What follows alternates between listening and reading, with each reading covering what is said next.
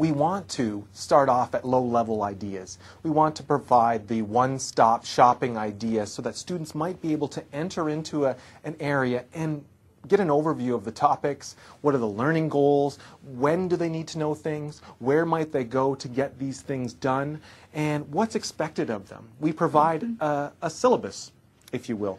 And, and the way we talk about syllabus is usually in the form of class guides. So the next couple slides, I've actually taken some from my courses at Penn State through, we use Angel as our course management system. Um, but what we want to do is get students thinking about the learning before they ever come into class. Barbara Walvoord has this idea called first exposure. That often the, t- the time a student is first exposed to the material is when the teacher tells them about it. Yeah. We're trying to move away from that.